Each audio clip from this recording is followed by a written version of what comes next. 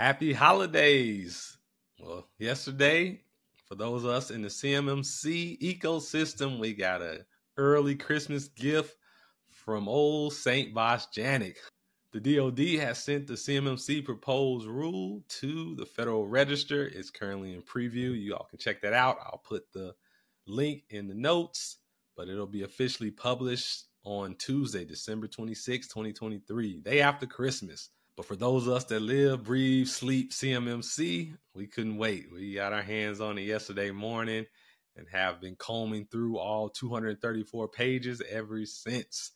And this is what this video I'm going to be sharing with you just some high level reactions from myself as a certified CMMC assessor and provisional instructor. I know that you all have better things to do than to be reading through the CMMC rules. So I'm going to just let you know some key takeaways that you should be aware of, let you know how you can submit your public comments, also let you know some actions you should take. So certainly stick around for those actionable steps I'm going to provide you at the end of this video. But let's jump right into some of the key takeaways from the CMMC 2.0 proposed rule. The good news is the DoD stated that the CMMC rule will not show up in solicitations, contracts, until 2026 or later. So it is going to be a phased rollout. No surprise there. We knew it wasn't going to just be overnight, going to be in all of DoD contracts. Doing that initial rollout of CMMC 2026 or later, looking at just under 1,500 entities. They're going to have that CMMC DFAR 7021 in their solicitations. Year two, so we're increasing, accelerating.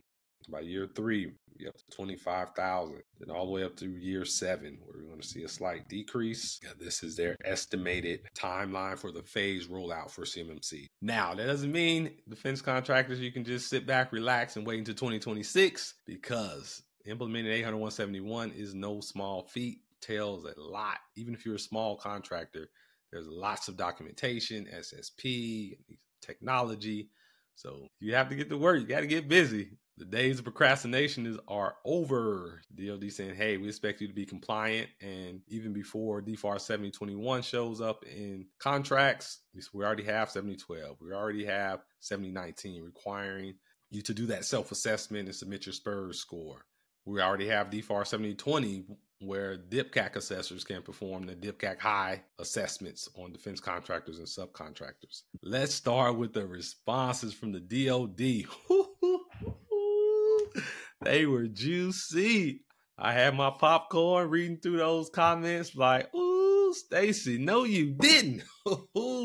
it's like the DOD have been waiting two years to lay the smackdown with those responses. Reading through those comments reminded me of the movie War Dogs when they went to the Pentagon and was asking questions because they got awarded a big DOD contract to deliver munitions. Long story short, they significantly underbid that contract because they did not understand the requirements for shipping those munitions. Essentially, reading through the DOD responses to CMMC 1.0 public comments. So it said some of the key points regarding CMMC costs, which is the next question I always get from defense contractors, how much it cost. And we'll get into a little more detail with that. But let's first look, I'll say some of the key takeaways from those responses that the DoD provided.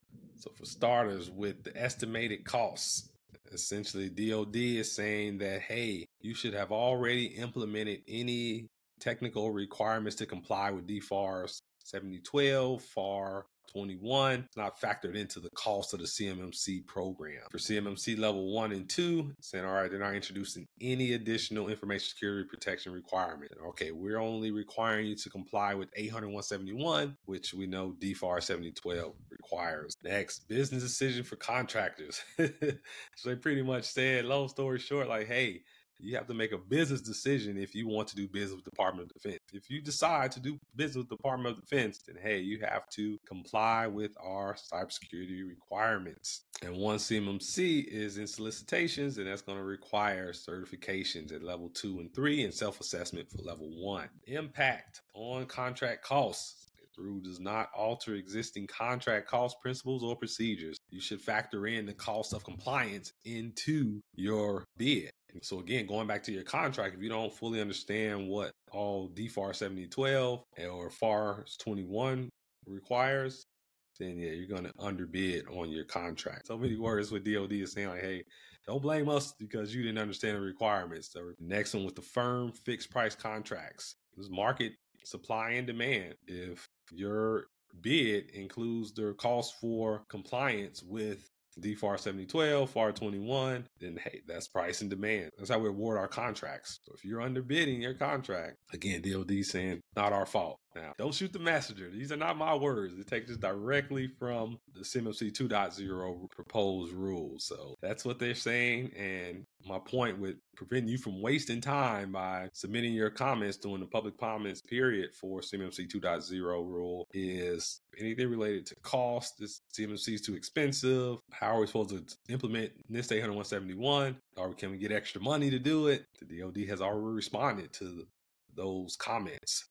So if you submit the same comments, all they're going to do is say, see our response in the rule. That's that. But again, it's pretty juicy. Yeah, it's DOD. Like they had a little sass to those responses. all right. Now I know what you all are really here for to look at these cost estimates.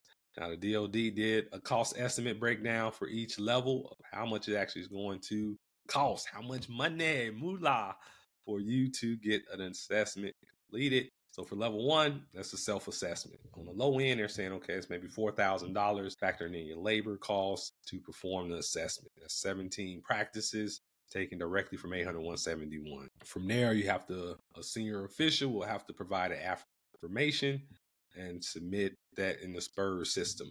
Level two, this is where we have a big jump. Ooh, 43,000 for a self-assessment. Just to do that self-assessment, and only keep in mind the DoD estimates only 1% of defense contractors are going to qualify for a level two self assessment. It's going to be very few. So I wouldn't bank on you being one of those in the 1% that's going to get a level two self assessment. But even if you are one of those lucky few, you're still looking at over $40,000 to complete a satisfactory level two self assessment meaning you're going to have to go through all 110 practices, 320 assessment objectives, document your SSP.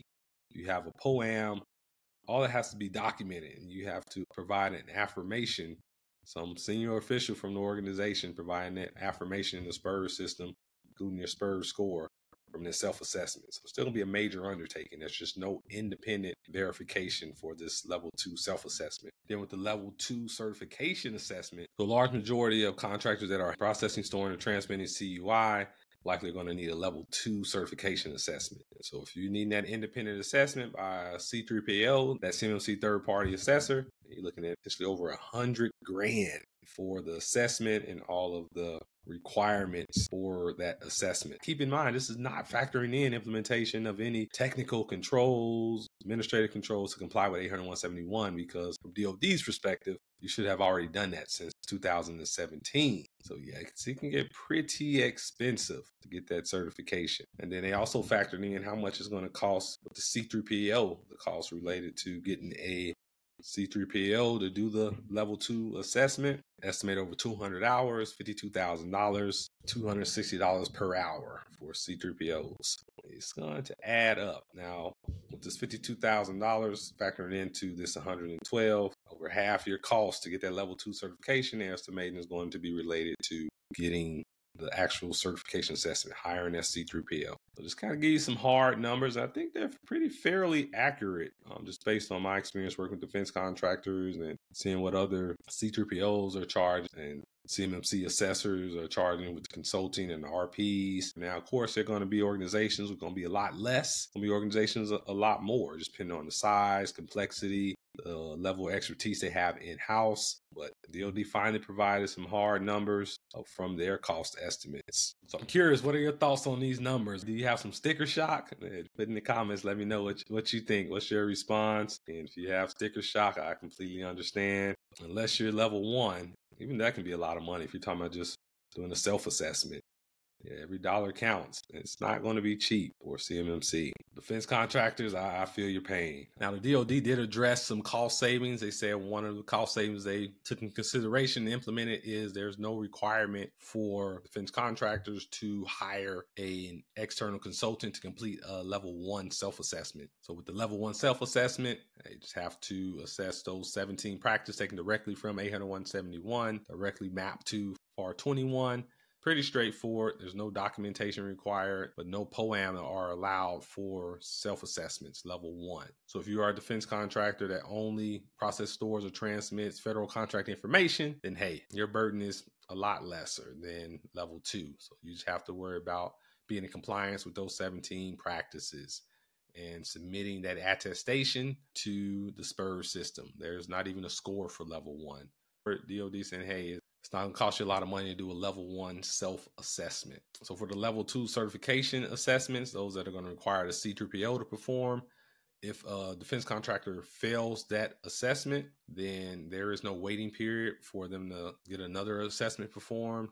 Organizations seeking certification, they have 10 days to address any practices marked as not met during their certification. 10 days after that certification, that's their window to address any of those not met practices. The DoD currently does not have a process for requesting waivers for CMMC level two, level three assessments. Pretty much the DoD will decide internally based on their policies and their needs whether a defense contractor qualifies for a CMMC level two self assessment or some type of waiver. As an organization seeking certification, it's you don't have any process to submit that request. If you have a dispute about how the assessment went or if uh, assessor mark practices is not met and you disagree, yeah, any disputes, any appeals will be submitted to the C3PAO that perform the assessment and they will decide on what actions to take. And then if you're unhappy with their response and how they addressed your concerns, then those will be escalated up to the Cyber AB. So the Cyber AB will have the final say so. they'll determine the final resolution for any appeals. One big surprise for me is with the external service providers. We got clarification from the DoD on that in relation to the external service providers that organizations seeking certification are using will need a CMMC level two certification if they're processing, storing, or transmitting CUI or log or configuration data. And that log and configuration data stored on their assets for the external service provider then yeah, they're going to need a certification. So we're looking for it's definitely still that's going to open up more questions. And as far as your cloud service providers, DoD confirmed that they're going to need to be FedRAMP moderate or high or equivalent. So equivalent, hey, do they meet the same requirements outlined to get that FedRAMP moderate or high designation? Those for your cloud service providers, processing, storing, and transmitting controlled unclassified information. Now, if you're one of those defense contractors working on a critical project for DoD and you're designated to require a CMMC level three assessment, you will need to get a CMMC level two assessment performed first before you can even do the level three, that which will be performed by the DIBCAC. Essentially, you're paying for that level two assessment. Then the DIBCAC is going to perform the level three to validate that you've implemented NIST 800 172. So, in regards to compensating controls, alternative controls, you have to get approval from DoD CIO stating that yeah, you're approved to use an, an alternative control, and that has to be documented in your SSP. I think another big takeaway was in relation to the POAM. So CMMC level two assessments, um, the DoD is only going to allow one point practices to be on the POAM. So those three point, five point practices are not allowed to be on the POAM. You have to have those fully implemented in order to get your CMMC level two certification. So the only two practices where you can get partial points for would be for the multi-factor authentication 3.5.3, or if you have that multi-factor authentication deployed for, let's say, your privileged users, admins, then out of those five points, three points will be subtracted if you don't have multi-factor authentication implemented for all users in scope for your CMMC level two assessment who have access to that CUI, then you get two points out of five. Now, if you don't have MFA deployed at all in your CUI environment, then that's that's gonna be a minus five. And then for the FIPS validated encryption, we know this is a big one for a lot of defense contractors, where this is one of the most common, other than satisfied findings that um, the DIBCAC discovers during their assessments, is the FIPS validated encryption. So if you have FIPS encryption, but it's not validated, that would be subtract three points. You'll still get two points as long as you have that some type of FIPS encryption. But the validated is what's going to you need to get all five points. So those are only two that the DoD is allowing for partial points. All right, so there you have it. Really, just some actionable takeaways that I want to leave you with. Make sure you review your contracts, your teaming agreements, know what clauses are in your contracts. Because just a reminder, CMMC is not implementing new information security requirements. It's going to validate that defense contractors are complying with the existing DFAR 7012, FARS 21 requirements. And I would say do not do not buy any technology, anything until you have done your scoping to know exactly what do you have in scope for 800 171 or DFAR 7012 or CMMC, however you want to spin it. well, you need to know what you have in scope first before you start trying to remediate any gaps because I see all the time defense contractors are purchasing solutions that they don't need. Confirm what level. You need to know what level you're at before you take any action in terms of remediation.